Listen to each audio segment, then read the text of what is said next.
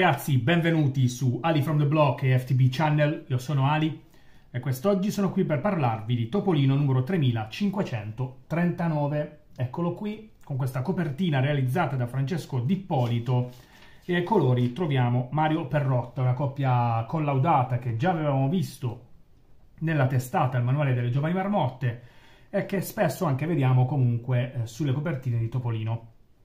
Una copertina che sinceramente non mi entusiasma tanto, mi entusiasma più per quanto riguarda i colori che eh, per quello che viene rappresentato nel disegno da Dippolito.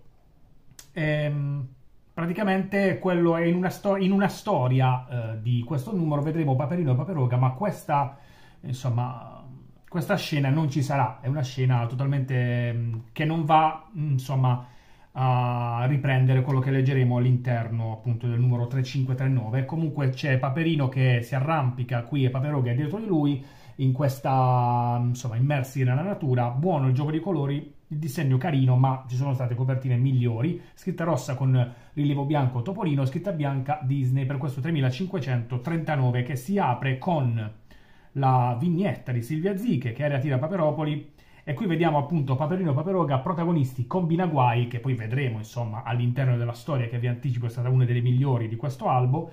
Ehm, Paperino dice: Ok, prima di litigare, cerchiamo di stabilire quanto di questo disastro è stato causato dalla mia proverbiale sfortuna e quanto dalla tua mostruosa imperizia. Quindi, come al solito, Paperino sfortunato, Paperoga pasticcione. L'introduzione del, del direttore Alex Bertani ci parla del fatto che sta finendo l'estate e lui c'è questa convinzione, insomma, che quando finisce l'estate mh, mm, ci sia tristezza. Per me non è assolutamente così perché io odio il caldo e l'estate e amo invece l'inverno e l'autunno, quindi non vedo l'ora che arrivi l'autunno. Vi dico soltanto una cosa, ragazzi, qui oggi da me siamo al 19 settembre e ci sono 33 gradi, fa ancora caldissimo e questo mi dà fastidio, vedo l'ora che arrivi l'autunno. Però mm, niente, Alex Bertani qui ci dice nel senso quello che leggeremo in questo numero, nei prossimi ci dice quello che vedremo anche per Halloween e sono molto curioso quando ci sarà Halloween, eh, le storie di Lord Aidquack e tutto quello che vedremo poi fa anche vari nomi di autori che vedremo eh, nel tempo con su Topolino, Nucci, Zironi, Sisti, Enna, Faraci, Artibani, Pezzini, Sciarrone, Zemelo e tanti altri. Vediamo poi eh, il sommario con le varie storie, sono sei in tutto, ehm, includendo anche l'ultima che è una sola pagina. Allora, si parte con l'episodio 2 di 5 della seconda stagione dell'Evaporati, cioè Coscienza Superiore, Bruno Enna, con i disegni e le chine di Davide Cesarello e il colore di Irene Fornari. Allora, ehm, come detto, i disegni e i colori mi piacciono molto e anche la storia, devo dire che questo secondo episodio mi è piaciuto, ci sono Qui vediamo Gamba di Legno e Sgrinfia eh, che menzionano Macchia Nera che avevamo visto nel primo episodio. Eh, la gente che si è persa insomma in questa topolinia diversa immersa nella nebbia. Mm, gli evaporati insomma lo conosciamo come, come serie e diciamo che questo secondo episodio ehm, è ancora presto per giudicarlo perché ce ne saranno altri tre. Però, insomma, mi è piaciuto anche questo secondo episodio. Zio Paperone e il Solid Cloud, storia di Fabio Michelini, con i disegni di Blasco Pisapia che torna su Topolino dopo un periodo di assenza, chine di Roberta Zanotta e colore di Irene Fornari. Allora, qui i protagonisti ovviamente Zio Perone e Paperino soprattutto, con un'invenzione di Archimede, e, um, una storia tendente al fantascientifico, la fantascienza non mi ha mai fatto impazzire, non è mai stato il mio genere preferito, però devo dire che in questa storia si è rivelata anche abbastanza simpatica. Abbiamo un paperino diverso che al posto di stare ad ossiare sulla sua amaca sta sempre a leggere libri. Insomma, anche belli anche i colori. Una storia che devo dire che per me non è stata la migliore di questo numero di Topolino, però l'ho trovata abbastanza simpatica. Poi ci sono i partoli relazionali, quattro passi con due tipi in gamba, tip e tap che ci portano a spasso per Topolinia, guida della città e soprattutto la cosa più interessante è che ci fanno vedere alcuni dei parenti di Topolino, tra cui la zia Topolinda, qui in uh, ritratto da giovane, e altri um, parenti di Topolino, tra cui zio Max, bisnonno Albemarle Topi, Madeline Mouse, zio Jeremy e Castelziano Rattone. Quindi belli questi, questi personaggi che spero che prima o poi vengano inseriti in qualche storia ehm, l'agenda dal 23 al 29 settembre, cosa vedremo in tv, gli eventi che ci saranno. E poi c'è secondo me la storia più bella, che poi è anche quella che va un po' a, a riprendere la, la copertina. Di Paperoga ne basta uno, che è la storia di, scritta da Francesco Vacca, disegnata, eh, disegni e chine di Lucio Leoni e colore di Valentina Mauri. Allora, qui praticamente abbiamo Paperino e Paperoga protagonisti che stanno guardando un film horror, mangiando dei popcorn. Il giorno dopo dovranno andare a fare un'escursione, eh, devono svegliarsi presto per... Ehm, eh, devono fare un servizio sui castori equilibristi per il Paper Sera e di lì a poco insomma Paperino poi va a letto perché finisce il film, va a letto, se ne torna a casa per andare a dormire visto che si devono svegliare presto. Paperoga però in una delle sue stranezze va allo specchio e fa un po' come aveva visto nel film e di lì a poco insomma ci saranno dei doppi Paperoga e non posso dirvi altro perché la storia è breve ma è una storia molto simpatica devo fare i miei complimenti a Francesco Vacca che ha con ha confezionato una storia corta di, quelli, di, quelle riempitive, ma ancora una volta la storia riempitiva per me è la migliore di tutte.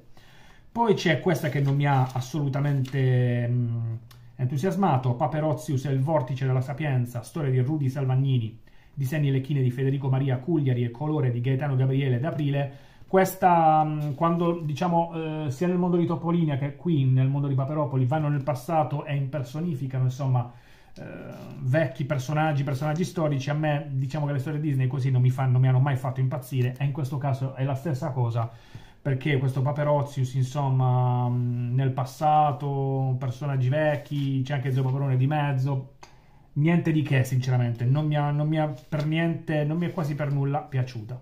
Mi sono piaciuti invece i vari redazionali geografici che mettono all'interno eh, qui ci, si parla del parco più alto del sud Italia, il parco Appennino Lucano Valdagri, Lago Negrese in Basilicata.